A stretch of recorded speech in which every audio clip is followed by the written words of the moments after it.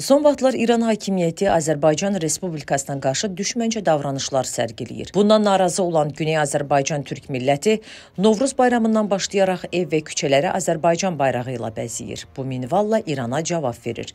Bu sözləri Axaraza tanınmış Güneyli yazar və jurnalist Məsud Haray deyib. Güney Azərbaycanda və İranın bir neçə şəhərində Azərbaycan bayrağının asılmasının böyük məna daşıdığını bildirən Güneyli yazar Molla rejiminin bayraq məsələsinə aqressiv yanaşdığını diqqətə çatdırıb.